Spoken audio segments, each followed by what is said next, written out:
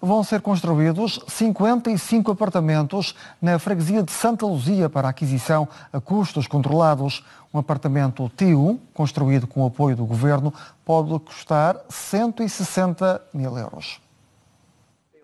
São 55 apartamentos construídos com os apoios do governo. O início das obras só está previsto para 2024. O Governo Regional irá afetar este terreno ao programa Casa Própria, de incentivo à construção de habitações a custos controlados. Eh, aqui permitirá edificar 55 habitações, 16 eh, tipologia T1.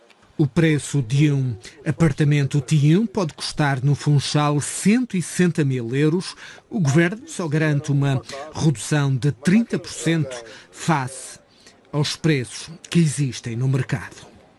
30% abaixo do mercado. Eh, a expectativa uh, dos valores andará à volta dos 160 mil euros uh, uma habitação aqui, com apoio no sinal a essa habitação, um apoio ao adquirente no sinal. O programa Casa Própria foi desenhado para ajudar as famílias que não conseguem pagar os preços do mercado imobiliário.